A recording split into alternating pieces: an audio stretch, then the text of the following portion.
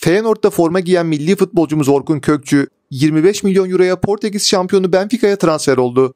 Hollanda'da şampiyonluğa ulaşan takımın kaptanı da olan 23 yaşındaki orta saha bu sezon tüm kulvarlarda 46 maça çıkıp 12 gol ve 5 asistlik performans ortaya koydu.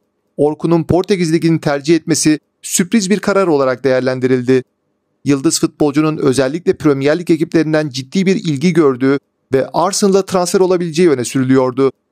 Fakat bu kararıyla birlikte Orkun ileriye dönük olarak kariyerini çok daha sağlam bir temele oturtmuş gibi görünüyor. Benfica'nın son yıllarda Ruben Diaz, Joao Felix, Darwin Nunez ve Enzo Fernandez gibi birçok ismi dünya futbolunun devlerine gönderdiğini düşünürsek, Orkun da kısa bir Benfica tedrisatının ardından rekor bir bedelle Avrupa'nın en iyi takımlarında kendisine yer bulabilir.